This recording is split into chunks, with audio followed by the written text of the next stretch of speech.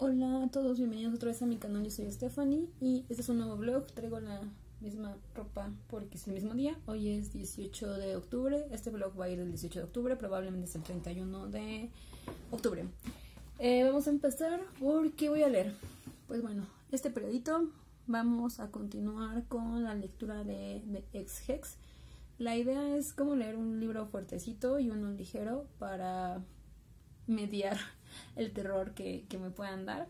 Y ahora toco un libro ligerito. Eh, de Ex Hex trata sobre una bruja que le echa un hechizo a su exnovio y toda una serie de enredos. Mm, no sé qué pensar. no he empezado para nada, pero estoy un poco mm, a la expectativa. Porque al parecer es una novela como de romance, un poco sobrenatural quizás, yo no suelo leer ese tipo de género, el romance y yo casi no.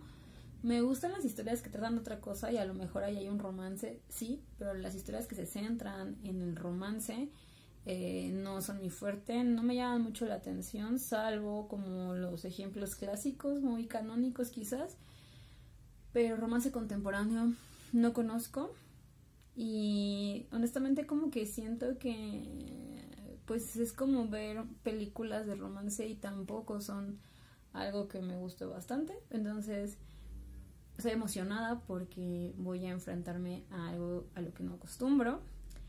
Eh, no tengo expectativas altas. He escuchado muchas cosas buenas del libro, pero como de gente que lee este tipo de cosas y obviamente pues van a ser reseñas buenas, ¿verdad? Entonces, no sé. No tengo expectativas altas, pero tampoco quiero como agarrarme y decir como que, ay, no, es basura o lo que sea. Yo voy a ir ahí así, tranquila. Creo que lo quiero leer como para pasar el momento, pasar el rato. Se me, se me hace como que es una buena lectura para tomar un chocolatito y tal. Y justamente eh, quisiera acabar como este antes de que sea el mero peak de la Spooky Season. Después a ver qué, qué pasa con este, con este libro. Ánimo. y ya, solamente eso, cuídense mucho y creo que esta temporada es una temporada fuerte para las enfermedades de vías respiratorias, entonces vacúnense, refuerzos, influenza, todo, todo, té de jengibre, todo, todo, ¿vale? Y los veo en el siguiente clip, bye.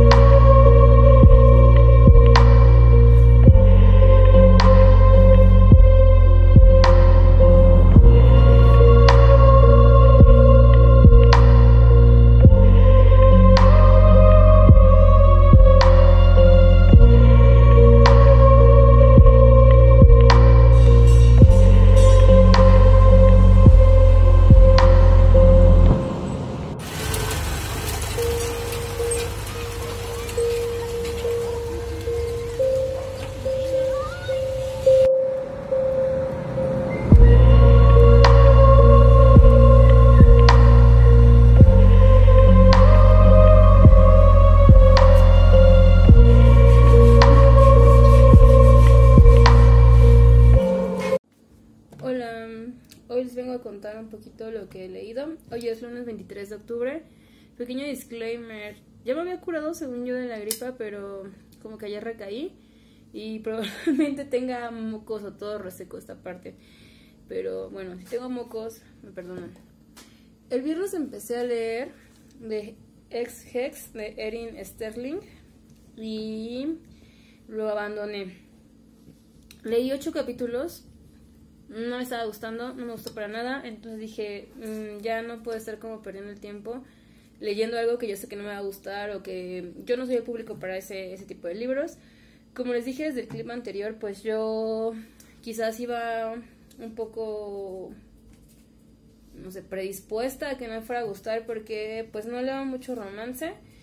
Pero bueno, eh, no me gustó para nada porque creo que era una historia muy sencilla y creo que independientemente de si yo tengo una historia sencilla, lo que puedo hacer es sacarle provecho con, no sé, con el estilo, jugando con ciertas cosas, ¿no? Básicamente es la literatura, o sea, nos están contando las mismas historias todo el tiempo, pero el punto de que un libro sea diferente a otro es justamente cómo lo cuento, ¿no? No es lo que cuento, sino cómo lo cuento. Y creo que aquí la autora tenía un, un qué muy simple y su cómo también fue muy simple. Incluso en algunos puntos eh, la autora a partir del narrador menciona mucho como esto de, ah, yo sé que es cliché, pero así es, ¿no? Y ahí me pareció un poco como truco sucio. Yo sé que este tipo de libros, a veces el romance o todo esto, son como un poco formulaicos y pues hay una fórmula que hay que seguir para desarrollar la historia, sin embargo, ya aceptarlo y regodearte en que estás haciendo algo cliché no me parece muy bueno que digamos. Entonces, por eso no me gustó. Los personajes eran bastante planos. La personaje principal, Vivian, me pareció muy patética. Eh, bueno, como que el galán era pues el guapo guapo y a pesar de que había hecho cosas malas, como que cuando vas avanzando descubres que no, no terminó con la chica por mala onda, sino que porque los mandatos de su familia y así, ¿no? Y que en el fondo es una persona muy buena y tal. Creo que yo ya no estoy para esas cosas. Eh, no soy el público, definitivamente. Y algo que hice fue como, leí seis capítulos de corrido del 1 al 6. Dije, bueno, a lo mejor se pone bueno en alguna parte, no sé, encuentro algo que me llame la atención. Y no pasaba nada, o sea, eran como descripciones de los lugares o descripciones muy, muy detalladas que en realidad no aportaban nada. Y no, no avanzaba, la historia no avanzaba, la, la trama, como que la intriga, todo esto no avanzaba. En esos seis capítulos realmente no vimos nada que no se supiera eh, si tú habías leído la sinopsis. Eso, o sea, así pasó, ¿no? Me aburrí y lo que hice fue como, voy a echarle un vistazo a todo el libro, voy a ojear todo el libro y voy a ver si a lo mejor si leo un capítulo al azar en algún punto más adelante que tiene algo que me llame la atención, pues regreso y lo leo todo, continúo. Me eran como 35 capítulos, entonces yo iba hasta el 6, me fui como al 25 y ahí fue cuando yo descubrí que ya había llegado el chico al pueblo y que tenía que, eh, pues sí, como eliminar la maldición que le había lanzado Vivian y que pues por azares del destino habían terminado como juntos, encerrados, conviviendo mucho y pues que la llama del amor iba a, revivir. Pero pasaron 25 capítulos. Después dije, no, esto no me, va, no me va a gustar. Mejor voy a leer el final. Y me leí el final y pues sí, nada, que no supiera, se iban a quedar juntos. Eh, no me gustó entonces. Y aquí tengo como un pequeño problema. Eh, los libros que abandono yo no los cuento como libros leídos pues porque no los terminé todos. Sin embargo, yo había escuchado en algún punto en Booktube la opinión de alguien, no me acuerdo si era un él o un ella o un ella, eh, de que es importante que aunque tú no termines un libro lo califiques en Goodreads porque ¿qué pasa? La mayoría de veces la gente que termina los libros es porque les gusta mucho o porque aunque no les guste mucho pues no tienen tan baja calificación. Entonces a veces tú llegas a ver el como pues sí la reseña en Goodreads tiene muy buenas calificaciones el libro y que es como una vista un poco parcial. Entonces que si tú no terminas un libro sería bueno que vayas a Goodreads pongas que no lo terminaste y los motivos por los que no lo terminaste para que la gente se pueda dar como una una visión más completa, un poco más objetiva de lo bueno, lo malo, las características del libro. Y creo que lo voy a hacer porque, como les digo, leí esos ocho capítulos al azar, para mí no me aportaron nada, hubo muchas cosas que me disgustaron, personajes planos, una anécdota sencilla, esta cuestión de que se regodeara en los clichés, también, eh, pues no sé, como eh, la poca atención, el poco desarrollo, etcétera, ¿no? Eh, otras cosas sobre lectura. Últimamente tengo como mucha curiosidad acerca de la obra de, de Cristiano, de Oscar Wilde. Eh, leí cuando era muy niña El fantasma de Canterville y me gustó mucho y últimamente como que he pensado si me gustaría lo demás. Intenté unos audiolibros, bueno, como, como audiolibros en inglés, pero los ponía en la noche entonces me quedo dormida quiero comprarme un libro que, que compile sus cuentos. Eh, no sé qué voy a continuar leyendo. Estoy también con nuestra parte de noche, estoy un poco atascada. Eh, se supone que tendría que leer 40 páginas diario, pero me está costando mucho, entonces voy a ser más sincera conmigo y voy a leer solo 30 al día. Y continuaré con eso. Estoy pensando si leer La fábrica de avispas, que es el que pues como que continuaba en la lista de los libros para leer en esta temporada. Eh, ah, y les quería contar algo de duendes. No sé, está chistoso. Últimamente en mi casa se pierden mucho las cosas y las buscamos y las buscamos y las buscamos y no aparecen. Y realmente así muy puntual, 15 días después aparecen las cosas así en el lugar más visible que te puedas imaginar. Ayer vino mi hermano de visita y dejó sus llaves en la mesa. Nadie nunca acomoda nada, como que si tú dejas algo tirado ahí, pues ahí se queda como para toda la vida hasta que lo acomodes hasta que mi mamá se enoje y te diga que lo acomodes.